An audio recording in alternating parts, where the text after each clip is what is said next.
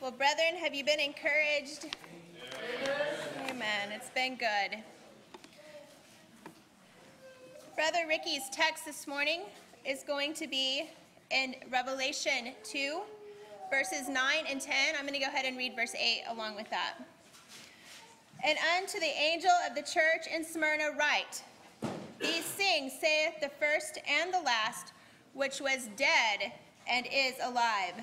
I know thy works, and tribulation and poverty, but thou art rich. And I know the blasphemy of them which say they are Jews and are not, but are of the synagogue of Satan. Fear none of these things which thou shalt suffer. Behold, the devil shall cast some of you into prison, that ye may be tried, and ye shall have tribulation ten days. Be thou faithful unto death, and I will give thee a crown of life. Amen. Brethren, the church at Smyrna was a very populated city. It was on, it was a port city, and it was uh, established um, in the ancient world. And it was a very affluent city, a very idolatrous city. And the saints that lived there were suffering not because of something they had done, but it was because of their belief in Christ Jesus. And not only did they suffer from the culture, but they also suffered as a result of the religious people around them. But Jesus knew this. He knew this. And he said some things to this church. So it's important to know who said it. Jesus is the one that said it. And when Jesus speaks, every word has meaning. Amen. And those words are attended with power and authority, so much so that they cannot be thwarted. It is important for believers to know this about their Savior. So this is the one, this is the one who said these things. He is the first and the last. He is the one who was dead and is now alive. It, he is the one who is the Alpha and the Omega, the righteous judge of all, the Holy One of Israel, the great shepherd, the intercessor. This is the one who is speaking these words to his church. I thought it was fitting to look at Revelation 19 because it's good for us to have a picture of our Savior. Brother Jason brought out last night that he is the glorified Savior. And I saw heaven opened, and behold, a white horse, and he that sat upon it was called Faithful and True. And in righteousness he doth judge and make war. His eyes were as a flame of fire, and on his head were many crowns. And he had a name written that no man knew but himself. And he was clothed with a vesture dipped in blood, and his name is called the Word of God. And the armies which were in heaven followed him upon white horses, clothed in fine linen, white and clean. And out of his mouth goeth a sharp sword, that he should smite the nations, and he shall rule them with a rod of iron, and he treadeth the winepress of the fierceness and wrath of Almighty God. And he hath in his vesture and on his thigh a name is written, King of kings and Lord of lords. Amen. This is the one speaking to the brethren at Smyrna. And what he said is important. when Jesus speaks, we want to make sure that we pay close attention to what he is saying. he said, I know thy works and tribulation and poverty. He knew, Jesus knew what was happening. This isn't the first time that Jesus said this in this section of scripture that we're looking at. I know thy works. He said it to Laodicea, and he said it to some of the other churches too, but there's a difference. The works that these brethren were doing were unto God, they were righteous and holy. Jesus uh, is aware of what's going on in his body because he's the head of the body. Remember, whenever he came to Saul on the road, he said, Saul, Saul, why persecutest thou me? Had Saul ever seen Jesus? But he was persecuting his church, and therefore he was persecuting the Lord Jesus. When Stephen was being stoned, Jesus stood to receive Stephen. Why? Because he was being persecuted for his name, and it was affecting the body. Jesus knows, brethren, he knows. How could he have said that they were in poverty, yet they were rich? That sounds like a contradiction, doesn't it? The world's assessment of the situation and Jesus' assessment are quite different. In fact, they are polar opposites. Jesus spoke as one who knew what it was like to endure what these brethren were enduring. He knew this by experience. And when Jesus was in the earth, he humbled himself. He took on the form of sinful flesh and condemned sin in the flesh. And so Jesus knew, he knew their, their poverty. He knew what it was like to be impoverished. And he even said that he didn't have a place to lay his head. That's what he told his apostles. So he knew what it was like. But was Jesus really impoverished? Whenever everything was peeled back, he was the king of glory. If you want to say it in man's terms, he was the richest man. He, he, he is the king of glory. he is the heir of all things. And even though this earth was not his home, he still ruled it. He still ruled the earth, and he still does. So he's reminding these brethren in Smyrna that their names were written in the Lamb's book of life, that they were joint heirs with him in God. They're, they were going to inherit the earth along with all of God's people. All things were theirs. but for the time, it appeared as though they were in poverty. But Jesus, in his comforting assurance, said, Thou art rich. Now, not only did Jesus know about his people, he also knew about those who were blaspheming, who said they were Jews but were not. And, and Jesus is going to deal with those people. But why did he say this to his church? As the brethren have mentioned, there are only two churches in the seven that Jesus had nothing bad to say about, and this was one of them. So Jesus wanted to encourage his people. He wanted to encourage them to finish their race. He wanted them to know that the tribulation would only be for a time. You know, brethren, tribulation has a, an expiration date. it does. And it's good because you can be in the middle of a tribulation and it seems like it's going to be forever. But Jesus is encouraging these saints that there is a time limit on your tribulation and there is a time limit on your poverty. This is what he's trying to tell them. Jesus did not want for his people to be swallowed up by these waves of persecution that were coming upon them. Amen. So there are times, brethren, in our own race when we can hear the Savior say, Press in, yes. hold tight, yes. stand your ground. Yes. This is what Jesus was saying to the saints at Smyrna. I was thinking of this song, and it's all familiar to us. Ho, my comrades, see the signal waving in the sky. Reinforcements now appearing. Victory is nigh. See the mighty host advancing, Satan leading on. Mighty ones around us falling, courage almost gone. You, have you been in that situation before? Where you're just you just think you can't go another step. Hold the fort, brethren. See the glorious banner waving, hear the triumph blow. In our leader's name we triumph over every foe. Fierce and long the battle rages, but our help is near. Onward comes our great commander. Cheer, my comrades, cheer. Hold the fort, for I am coming. Jesus signal still. Wave the answer back to heaven. By thy grace we will.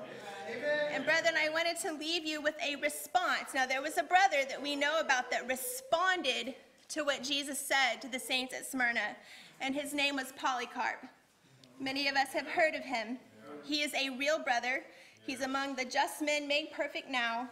But this is what he said O Lord Almighty God, the Father of thy beloved Son, Jesus Christ, through whom we have received a knowledge of thee, God of angels and of the whole creation, of the whole race of man, and of the saints who live before thy presence, I thank thee that thou hast thought me worthy this day and this hour to share the cup of thy Christ among the number of thy witnesses.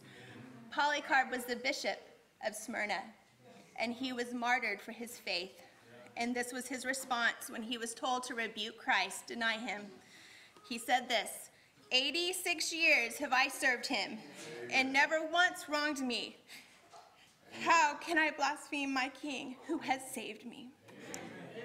Brethren, we can be this way too. We can be strong in the Lord and in the power of his might, and when tribulation comes, stand strong. Hold the fort. It's going to be hard to follow that. Yeah. In conclusion, let me go to page four. Okay.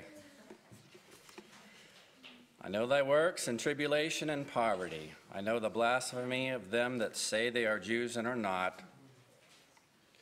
I know what Satan's going to do to you. And I know it's going to last 10 days. And I know after 10 days you're coming out. Revelation begins with these words the revelation of Jesus Christ.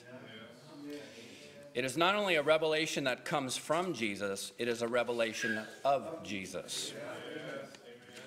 The judgments of the churches teach us about Jesus and how he judges people. That Jesus is a judge. Romans chapter 14 and verse 10 says, We shall all stand before the judgment seat of Christ. Paul told pagan people that God has appointed a day in which he will judge the world in righteousness by that man. Jesus is a judge. And as Brother Gibbon has already said, Jesus assesses the works of the churches.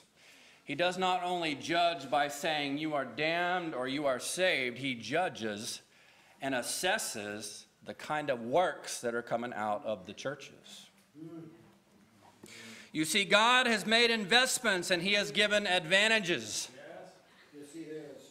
He has blessed us with all spiritual blessings in heavenly places in Christ Jesus.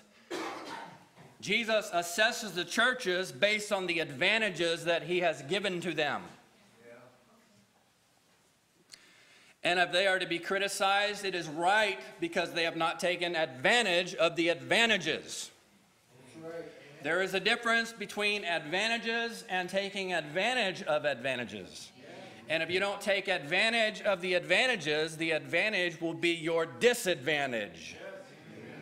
Because Jesus knows what's available to the churches. And if he has criticized the churches, let me tell you, it's because they didn't take advantage of the advantages. Jesus is a righteous judge. There are judges in the world, but they're not righteous necessarily. But Jesus is a righteous judge. That is why in Hebrews 1 that God has exalted him above his fellows, is because he loved what was good and hated what was evil. And he has a scepter of righteousness, and that is the scepter that he's wielding in the second and third chapters of Revelation. That's right. That's right. Isaiah says this Butter and honey shall he eat, that he may know to refuse the evil and choose the good. Yeah. And that's still the way Jesus is. He is that way in his churches. Jesus will not receive evil from his churches. He will refuse it. And he'll not overlook good. He will receive it and delight in it. And that's what we see in Revelation 2 and 3. He's a righteous judge. The point I'm making is simply this Jesus is not unaffected or indifferent toward what is being produced by a church that calls itself by his name. And there are theological views that would lead us to believe that he is somewhat indifferent about what's coming out of the churches. Maybe you've heard someone talk something kind of like this, trying to explain the love of the Father. Well, you know, you have that little child, and they're just starting to talk, and they just gibber, gibber, gibber, gibber, and it's just so wonderful. And that is exactly the way God is with us. Really? Yo, you've never heard that. Oh, yeah. That kind of talk's out there. If you develop a theological position that leads people to believe that Jesus is indifferent when it comes to judgment, Jesus is still going to judge the churches. And that's what we see here. Seven times it has been said to each church, this is the opening shot of the Son of God I know thy works. And then he goes to being a judge. You know, that's said of us. That's said of us. That's said of the Word of Truth Fellowship or wherever you go. That's right. Jesus knows what is coming out of that church. That's right. That's right. And he has something to say about it. Now, to Smyrna. One thing that makes Smyrna peculiar to most of the other churches has already been mentioned, but let me go ahead and say it. You brethren that stole my thunder, stop it. This is a church free from rebuke. There is no rebuke to the church at Smyrna. There is no stern warning to the church at Smyrna. There is no correction for the church at Smyrna. Jesus did not say to them, nevertheless, after commending them for good things. Jesus did not have to say to them, I have somewhat against thee. He didn't have anything against the church at Smyrna. If he did, he would have said it. He did not have to say to them, Remember whence thou art fallen and repent. They hadn't fallen, or he would have said something. Jesus did not say to Smyrna, Thou hast left thy first love. They didn't leave their first love, and you don't have to either. He did not say to them, Thou hast them that hold the doctrine of Balaam. They weren't charged for tolerating false teaching because they didn't. He did not have to say to them, Thou art dead, because they weren't dead.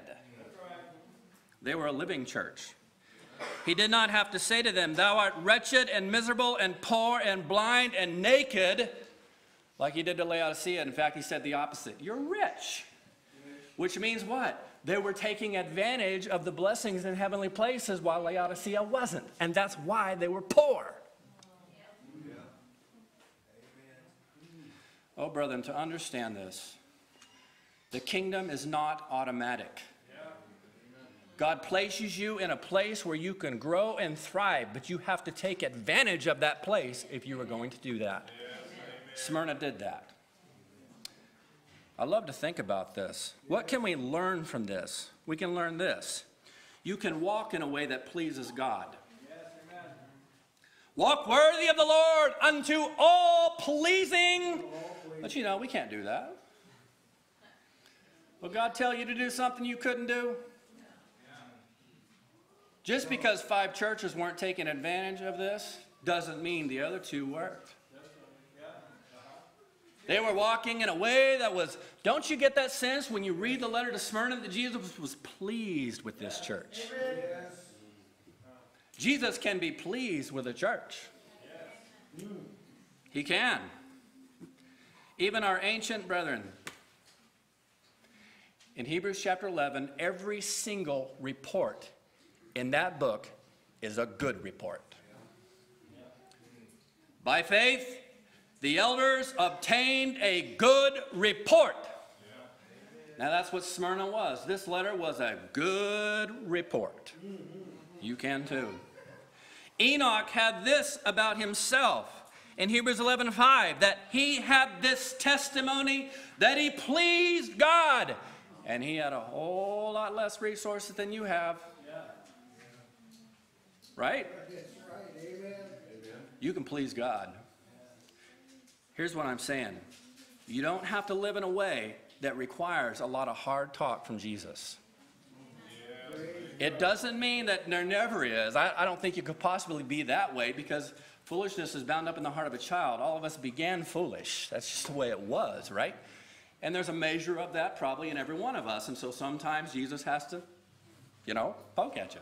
But that does not have to be the standard way by which Jesus deals with you. Let me tell you this Jesus won't always deal with you if that's the way you are. In the new covenant, Jesus is not willing to put the bit and the bridle in the mouth. If you stay mule like and harden your neck, you'll just be suddenly destroyed, and that without remedy. Jesus is not going to continue talking this way to churches. You know what I mean by that? Oh, he'll strive, but not always. And so we have a church that was tender toward Jesus. And if you are tender hearted toward Jesus, he will be tender hearted toward you. Ephesians 5:1 Be therefore followers of God as dear children. Amen. Don't you pray that prayer to the Lord? You do. I want to be a dear child. I look, I look at the other five churches and I don't want to cause grief for Jesus. I don't want to do that. Do you like rebuking your child all the time? You think Jesus likes it? Always having to say hard things? You think he finds pleasure? No, he doesn't find pleasure. This is not how you, you do not have to live this way. Amen. Smyrna was an example of that. Another thing about Smyrna is Smyrna was a suffering church.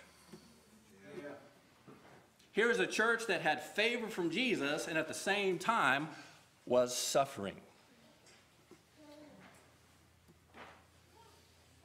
It was a church in tribulation. I know thy works and tribulation and poverty. Tribulation, that's a very strong word, tribulation. You, let me give you some synonyms that relate to that word, like suffering, distress, trouble, misery. Misery. Sometimes life in Christ can be miserable. You bet it is. It's not always a bed of roses, brethren. We're not always smiling. Wretchedness, unhappiness, sadness, heartache, woe, grief, sorrow, pain, anguish, agony. You know, it said of Jesus that he agonized in prayer in the garden. Jesus is familiar with tribulation. Thank you for that word last night, Brother Gibbon. Yeah. Absolutely. He knows what it's like. Travail. Okay? Tribulation can be likened to a person's experience on the sea. Yeah. Psalms 107, 25, and 27 says, He commandeth and raiseth the stormy wind, which lifteth up the waves thereof. They mount up to the heaven, which means you can't see the sky anymore. That's how, that's how that is. It can, be, it can be rough. And they go down again to the depths. They just crash.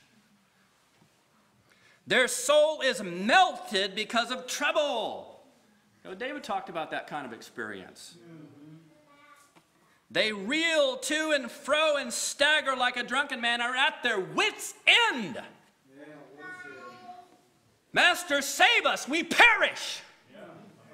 I don't think they said, Hey, Master, Master, hey, Master, Master, Master, there's Master. They were crying out. Life can be like a troubled sea. That's what tribulation is. Hey, God can get you melted and get at your wits' end. It's God that did this. He's the one that commanded it. And if you can see all trial right, it may be delivered by Satan, but it was commanded by God. It's important that we understand that. It'll make trials bearable, brethren. Some of our brethren that have gone through trouble, which by, by the way, I did want to say this and I'll just move right on. Tribulation is something you're thrown into.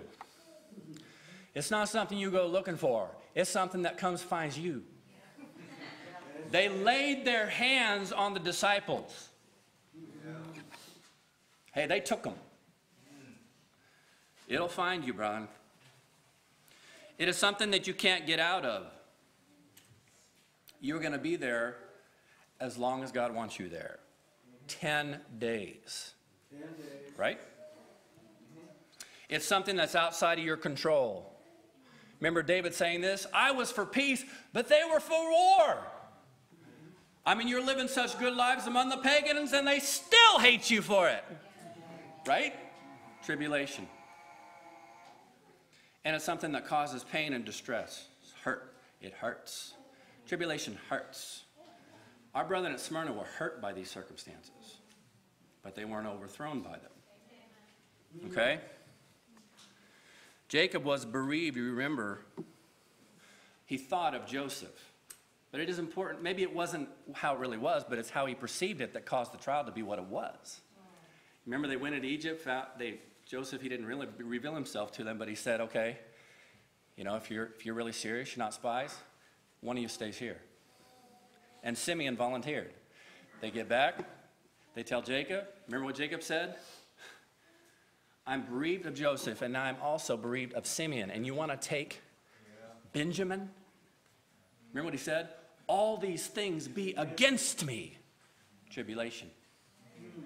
Tribulation could come at you at all sides, like waves do. I mean, they, waves don't smack in like order. They just smack one way and smack the other way, and you're tossed in all directions. You ever been tossed in life? Just kind of get tossed around. Job was tossed in life, remember? He was tossed in life, just in succession. His kids died. Reports came he lost all of his assets, and pretty soon he was struck with boils from head to toe. Tribulation can be like that, it can come in succession. They were already in trouble at Smyrna, and Jesus is saying, More is on the way. Tribulation, brother. What are some of the specifics of their tribulation? We really don't know a whole lot because Jesus didn't get into the specifics. I think there's wisdom in that. I think the more you focus on the details of your suffering, there's a temptation to be overcome by it. So Jesus was very general. I tried to be real specific about it, but I found myself launching out into opinions. So let me just say a few things and try and stick with what Jesus said. One is they were impoverished. I know thy poverty. Poverty is a trying condition. Yes.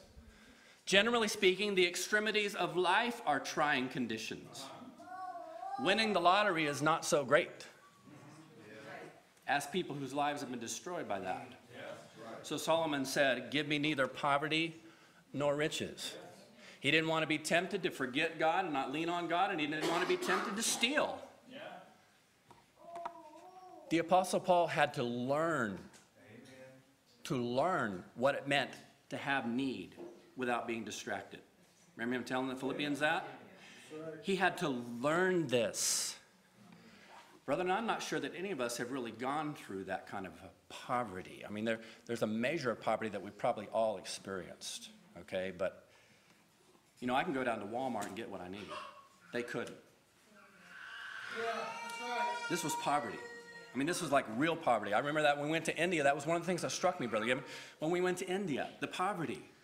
I had to be exhorted by Brother Given turn the lights out. Why turn the lights out? No big deal. I have lights on all the time. I never think about my electric bill because I got plenty of money to pay it. They don't. Turn the lights out. I don't think I know that I'm exactly sure, sure that I could be competent to really handle this word, poverty. But they were in poverty. Whatever that means, Jesus acknowledged that it was happening there. And it was a form of suffering and trial for them. What poverty may mean, Sister Tasha already alluded to this. It may be they had the same kind of experience that the Hebrews had. It may be possibly. It may not be that they were began in poverty, but maybe they ended up poverty. Maybe. Remember the said of the Hebrews that they took joyfully the spoiling of their goods. Because they were believers, they were taken advantage of. Hey, this goes on in other countries. If you say that you're a believer in another country, it may be the very thing that brings you into economic disadvantage.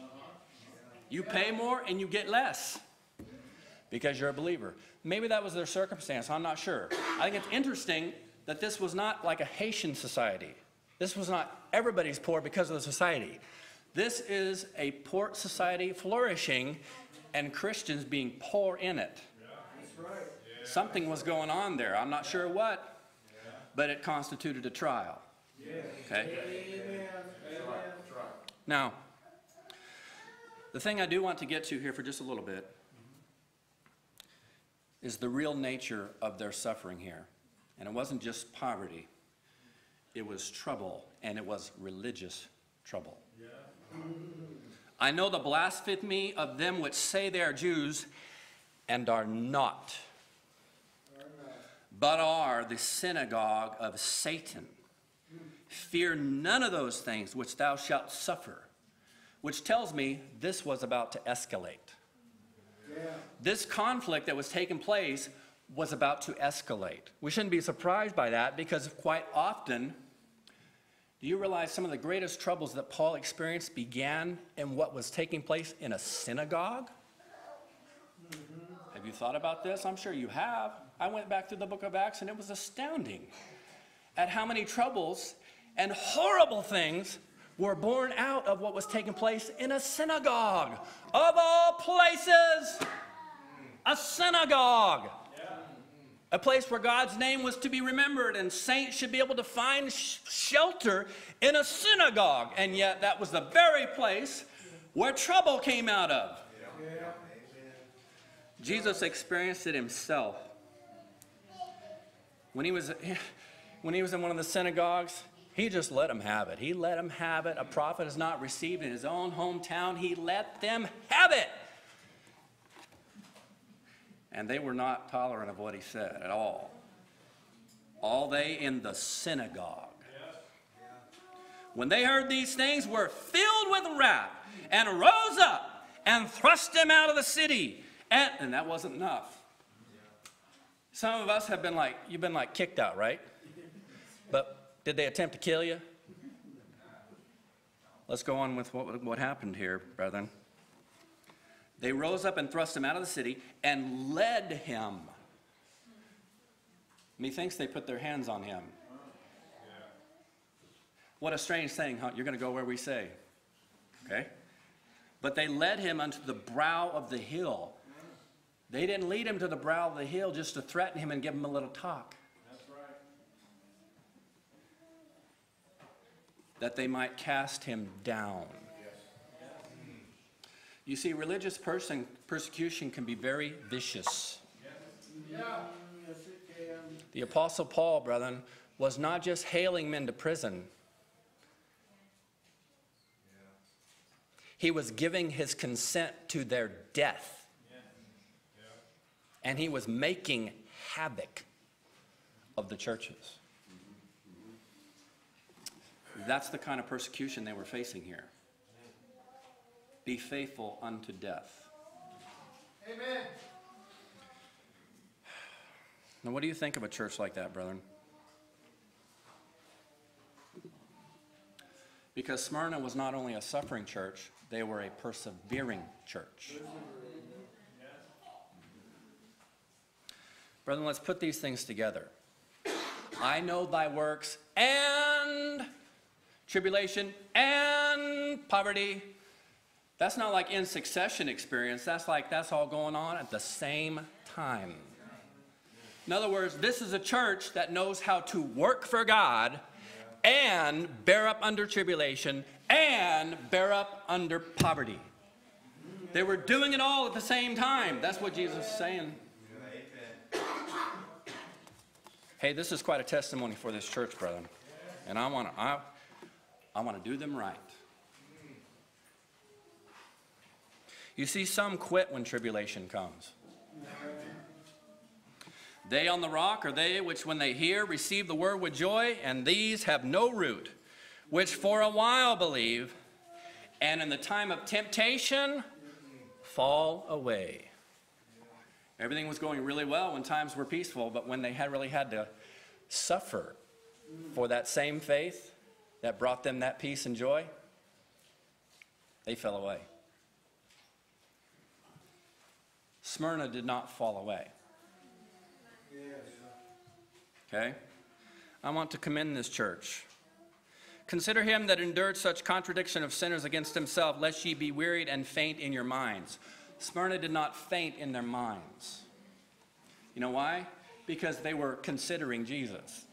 They were keeping the exhortation. You see, we can learn, we can kind of learn a lot about this church by the fact that they were enduring. I mean, you don't just endure automatically. There's something behind the scenes that's taking place.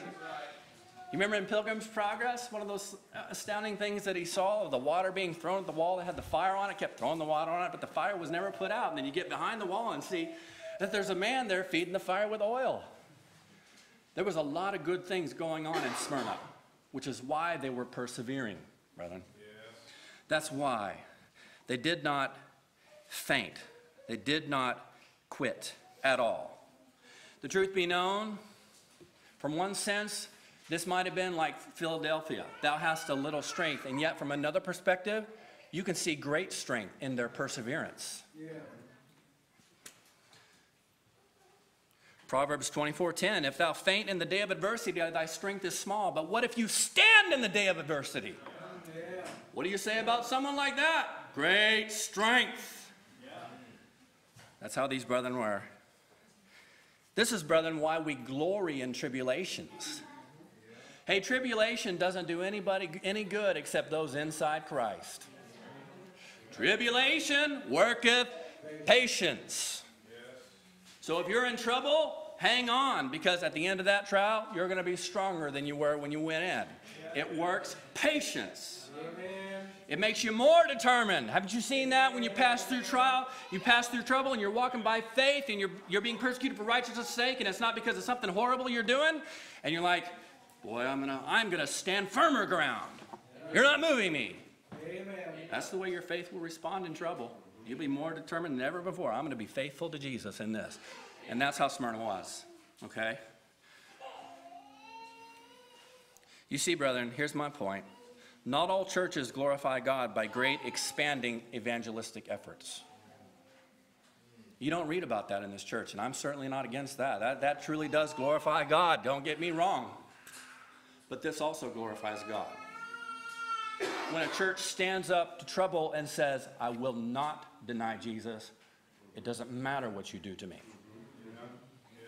And we have brethren that are doing that right now. And I commend them for it. And Jesus commends them for it. Now, let's move on. What kind of a message do you give to a persecuted church?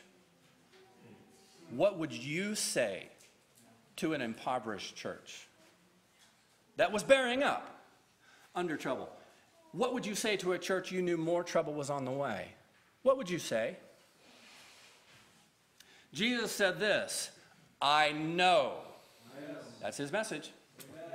That's his message to this church. Jesus, brethren, can say a lot in a few words. You realize how long this letter is? I wanted to print this thing out in like normal form. You know, we send out epistles of encouragement once a month at the Word of Truth Fellowship to try and encourage the brethren. So a number of the brethren in fellowship will be led and they'll write some kind of a letter of encouragement. Jesus' letter. This is Jesus' letter to a suffering church that had more suffering on the way. This includes what Jesus said about himself. This includes Jesus' assessment of the church. This includes an incentive for them to bear up under their suffering. That's all he said to them. Amen. You realize how many words? Let me say about myself, because this is a particular infirmity on me. How many words I have to say to like get the point across? Jesus gets at a point across in like eight lines. And it's enough to make that church stand because you know what a church that's suffering and bearing up under suffering needs to hear? They need to hear this from the Son of God I know. I know. You see, the point is this it's the one who knows that is the power behind that word.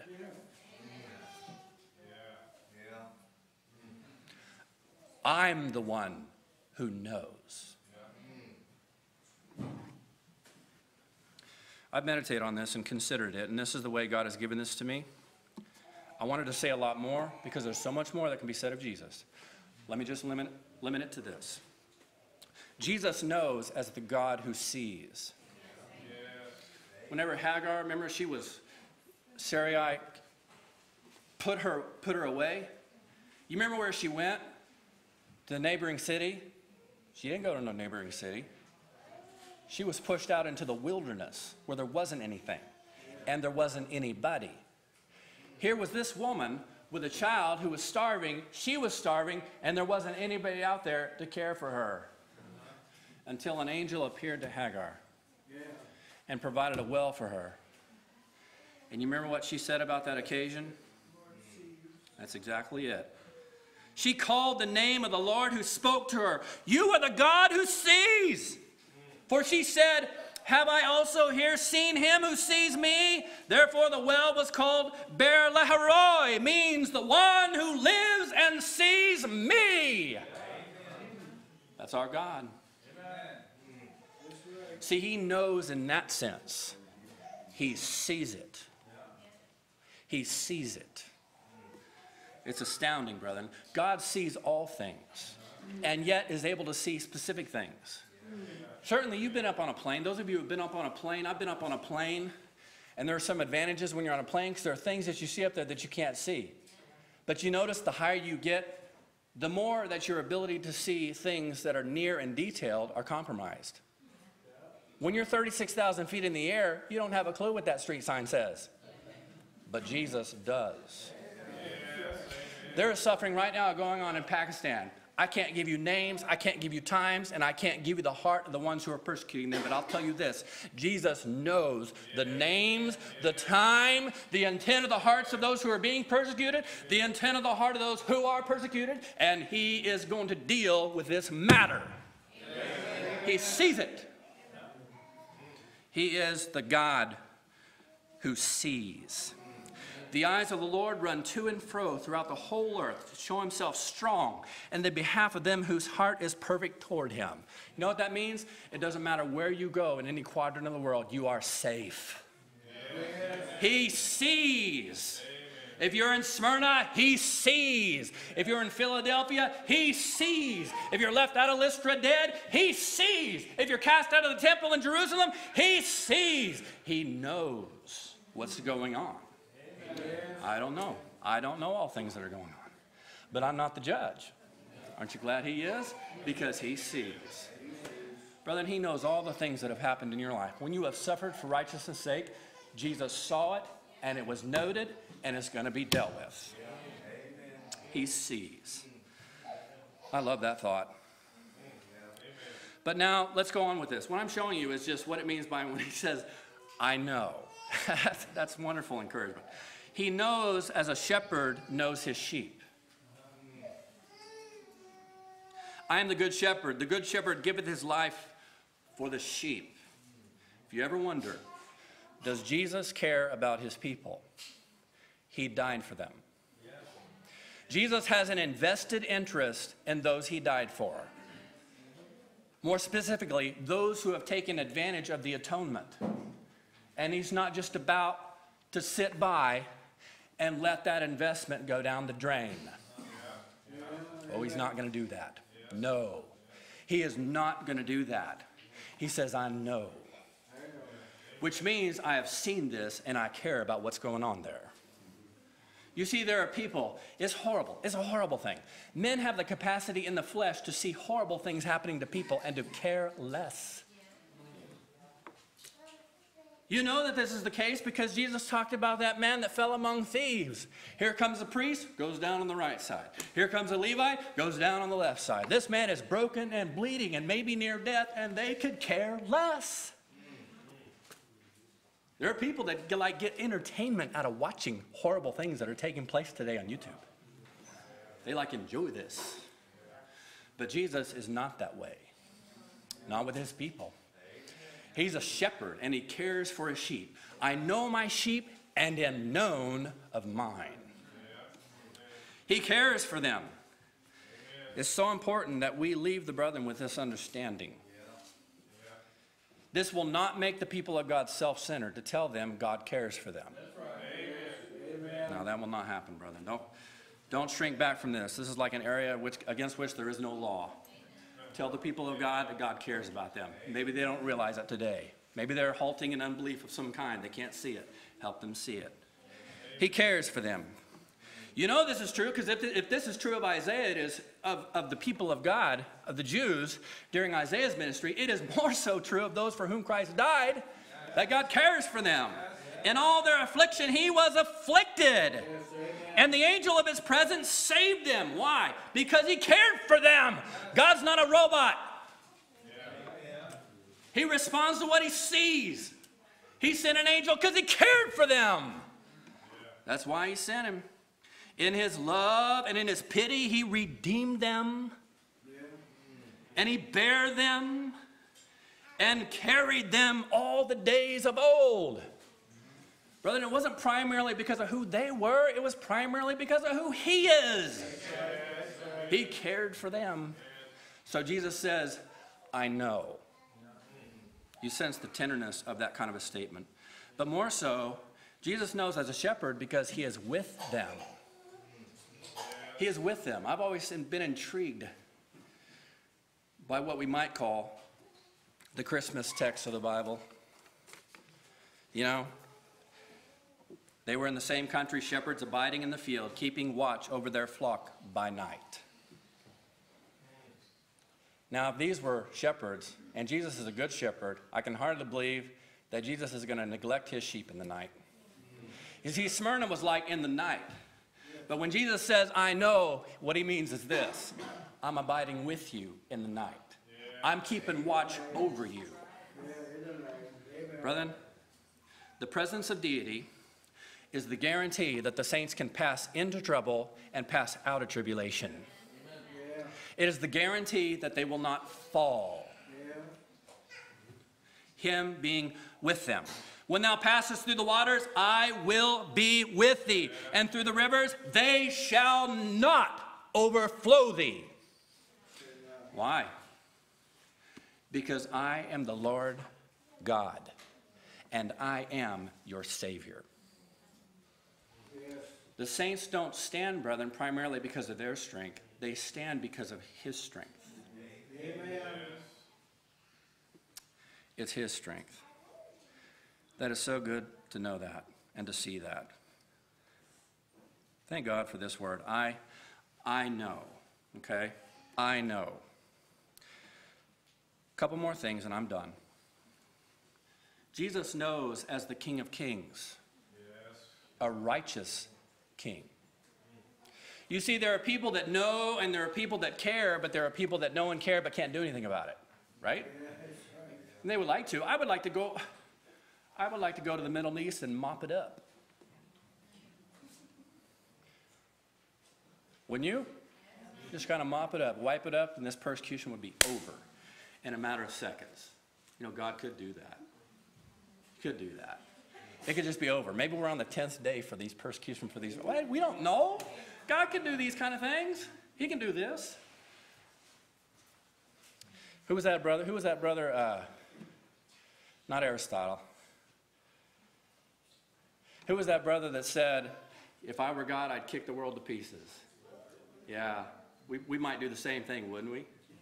Well, God could kick the world to pieces if he wanted to. Yeah. Something's being worked out there. But nonetheless, this is a, Jesus is the King of Kings who says, I know. This is the one that is on the throne at the right hand of God that says, I know. I know what's going on there. I know. Okay?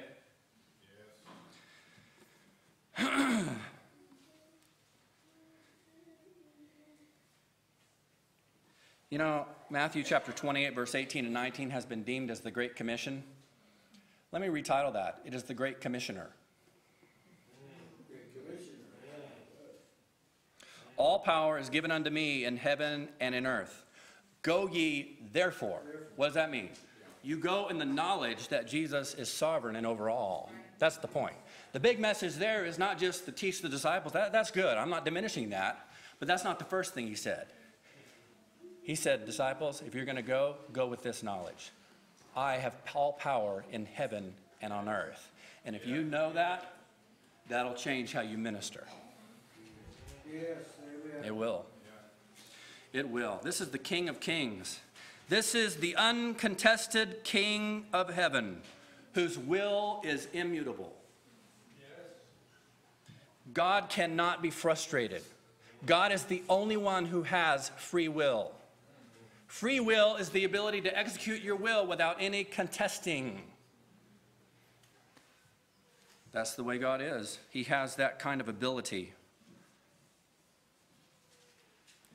All the inhabitants of the earth are reputed as nothing. That includes those of the synagogue of Satan. You got to think this way. If God gives you into the hands of your enemies, you got to think this way. He's over them as well as me. They're reputed as nothing. Herod, he was reputed as nothing. Pilate, he was reputed as nothing. Nebuchadnezzar, when he tried to destroy those three Hebrew children, they already knew this, that he was reputed as nothing, and he said, We're not bound down. Why? Because they knew God was over all. If you know, and this is something you have to work to keep hold of, but if you know that God is over all, it'll give you the kind of confidence that enable you to go through the fire and out of it. You see, he's the King of Kings that says, I know. And he rules with a s- righteous scepter. Let me tell you what that means, brethren. It means that it is not possible for wickedness to ultimately prevail over righteousness. That isn't even possible. If you, brethren, are receiving conflict because you've done what is right, then this simply, brethren, has not become a battle between you and your enemies. This has become a war between the Son of God and your enemies. Jesus will never let wickedness ultimately prevail over you. He will not let that happen. Amen. He will keep the feet of his saints, and the wicked shall be silent in darkness. That is going to happen. But now he knows as he which was dead and is alive. Smyrna, brethren, was not victorious in a conventional sense. Smyrna did not throw a stone at their enemy and cut their heads off. Hmm? That's not how it worked here. That is not how it worked here. They were not victorious by throwing down their enemies. They were victorious in this that they did not love their lives unto death. And that is the victory we receive from Smyrna. Hmm? They were faithful unto death. Remember, Jesus talked about my faithful martyr Antipas. My martyr. I want Jesus talking about me that way. I don't want Jesus to be ashamed to identify me with himself. And I know fundamentally you're not identified with Jesus based on what you do. But this did endear Antipas to the Son of God. Just as it endeared Jesus to the Father when he gave up his life, because the Word of God and the purpose of God required it. You can do the same thing if you are required. You see, there are worse things that can happen to believers than dying. Truth be known, death does not hurt the child of God. I've not been near death, so I can't speak with a lot of authority on that. But I can speak with a lot of authority right here about Smyrna. You know, you want to know what our takeaway from Smyrna is this that you can be faithful under much duress, trial, hardship, misery, hurt, pain, poverty, in trouble, more troubles on the way, and you can be faithful unto death. Jesus would never have put them in that trial unless he knew that they were faithful to handle it. They were faithful, brethren. He counted them faithful to handle this. Maybe the reason why some people aren't martyred, I I know this can be very dangerous, so please don't take this and like judge everything this way. But maybe sometimes the reason why certain people aren't martyred is because they can't handle it. Isn't that possible? This church could handle it. And our takeaway is this this church went through a lot of trouble, and they came out of great tribulation. And they had a wonderful reception, just like our beloved brother had when he came away from the synagogue of the Libertines. Stephen. Stephen was dishonored on earth. But when his soul left his body, he saw Jesus standing at the right hand of God. you can have that same kind of witness too. Thank you, brothers.